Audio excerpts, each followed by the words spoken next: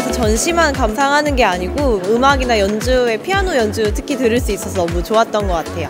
국립현대미술관이 우리나라에서 그 방문객이 가장 많은 미술관이라고 알고 있는데요. 관람객들을 이렇게 전시장에서 보는 게 아니라 한 공간에서 한꺼번에 보니까 굉장히 기분이 좋았습니다. 관객들에게 다른 경험, 청각적인 경험을 함께 줄 수 있는 기회인 것 같아서 그런 게 좀 의미가 있지 않을까. 이번 기회를 통해서 더 많이 미술관에서 이런 이벤트를 하게 됐으면 좋겠습니다.